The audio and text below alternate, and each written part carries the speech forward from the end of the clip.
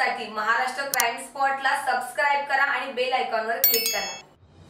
मनोज जरांगे पाटील यांच्या समर्थकांनी आरक्षणाच्या मुद्द्यावर राज्यभरात रास्ता रोकोची हाक दिली.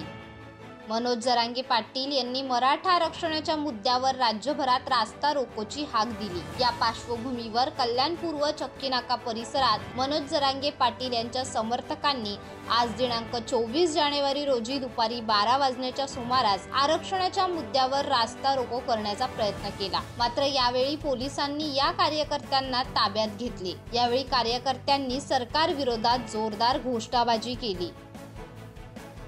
आणि तिन्ही वेळा हायकोर्ट आरक्षण टिकतं तो सुप्रीम कोर्टामध्ये टिकत नाही. आणि आता तेच होणार आहे याची आम्हाला आणि आमच्या नेत्याला खात्री आहे. त्याच्यामुळे आम्ही ठरवलेलं आहे. आता आमचा नेता फक्त एकच फक्त जरांगे पाटील.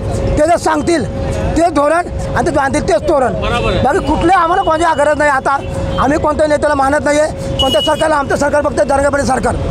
कारण त्यांनी ठरवले त्याप्रमाणे होईल. त्यांच्या आदेशाप्रमाणे आज शांततेने आंदोलन करतोय. त्यांनी सांगितलं त्याप्रमाणे सगळे याची अंमलबजावणी शंभर झालीच पाहिजे. तो मुद्दा होत नसेल तर आम्हाला हे आरक्षण मंजूर नाही आहे तुम्ही कुठले किती आश्वासन द्या आम्हाला काही गरज पाहिजे नाही आहे आम्ही आजही सांगतो तुमचं हे आरक्षण शंभर टक्के फसवं आहे. हे तुम्हाला दोन तीन दिवसामध्ये समजेलच. फक्त एकच वेळ शेवट पण लावून देणार आम्ही. आणि जोपर्यंत आम्हाला सगळे मुद्दा अंमलबजावणी होत नाही आहे तोपर्यंत आंदोलन हे चालूच राहणार आहे.